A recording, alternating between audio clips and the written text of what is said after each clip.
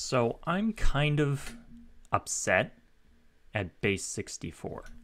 And the reason I'm upset at base 64 is because I was writing a base conversion code in assembly language and I realized something. And I realized that the current format of base 64 prevents me from writing one function to do all base conversions. Let me explain. So down here you can see we have 64 base values. And 0 and 1 are binary, and that's base 2. And you can see 1, 2 characters. 0 to 9 is base 10. That's decimal. That's just regular numbers, what we're used to. And 0 to F is base 16, which is hexadecimal. And all these line up perfectly in a row. So I thought to myself, well then, this must be base 64. And I was wrong.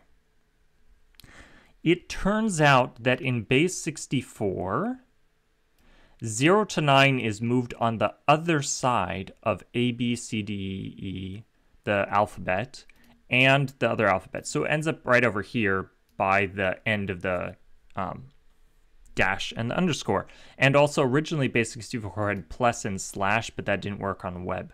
So not only are there multiple versions, but it doesn't line up with all the rest of the base conversions.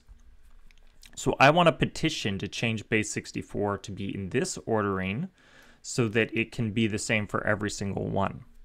Now, this sort of um, code here that I've written actually does work in terms of conversion. I'm only just now getting to the point where I'm getting user input in and I'm able to put out a value.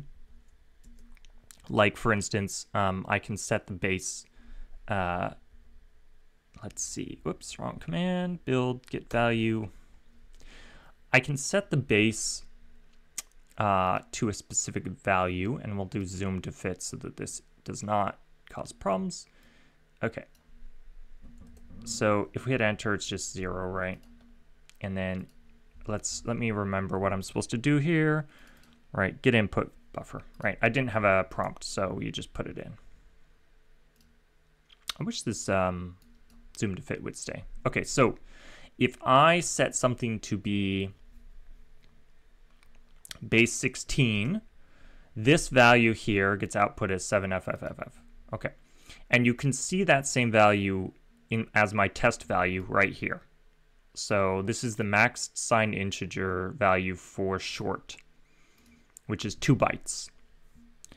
And if we, uh, one cool thing about this is that if we run this again, and um, and we put two in here, you can see that in, uh, oh no, I didn't need two in there. Anyways. Um, if we put like say 10 in here, you get 32,767, which is the, the decimal value.